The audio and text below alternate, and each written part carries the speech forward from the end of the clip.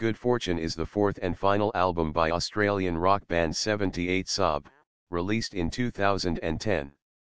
The album came three years after its predecessor, The Bells Line, during which time frontman Ben Nash said the band had been drifting and procrastinating.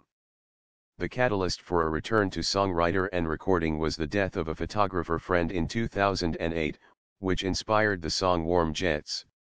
Nash told Beat magazine, we were going through a difficult time as a band anyway.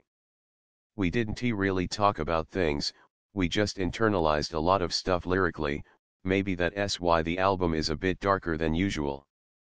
But when you have a close friend that passes away or issues on the home front, it makes you realize how fleeting life can be and how important it is to grab those opportunities.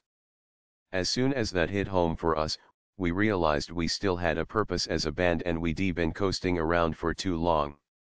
We knew we were capable of walking into the rehearsal room and punching out a couple of good songs, so we decided to do that and concentrate completely. Nash said Warm Jets was built around a friend who died and his love of photography, but the trick was to write the song about a mate passing away, though without sounding too heavy-handed.